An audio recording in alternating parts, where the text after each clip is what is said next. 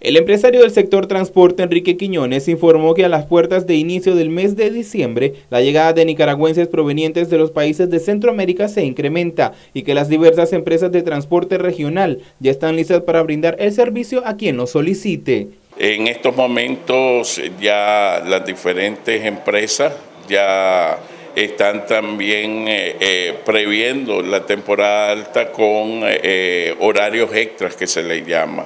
En ese sentido, eh, la mayoría se llena. No hay eh, transporte tanto internacional como el transporte que le llamamos de transbordo, que van a la, frontera en los diferentes países, que dé abasto con la cantidad de nicaragüenses que vienen principalmente de Costa Rica a Nicaragua.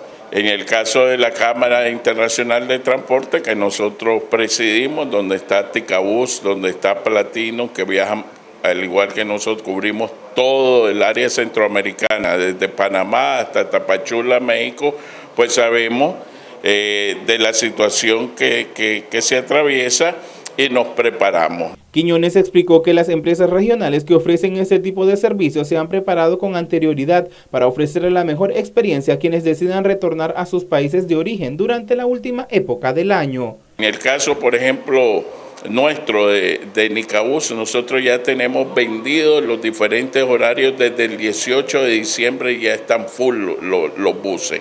Y ahora estamos ya vendiendo lo que son los buses extra. Así que eso es mi recomendación a la gente en el caso de los que vienen de afuera para Nicaragua.